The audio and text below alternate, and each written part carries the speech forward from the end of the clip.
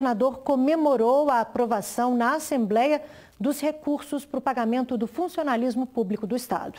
Tivemos hoje a felicidade de termos aprovado em primeiro turno na Assembleia a questão da operação financeira da Codemig, que visa fazer com que o Estado tenha recursos financeiros para poder pagar o 13º salário e também a folha de pagamento em apenas uma parcela.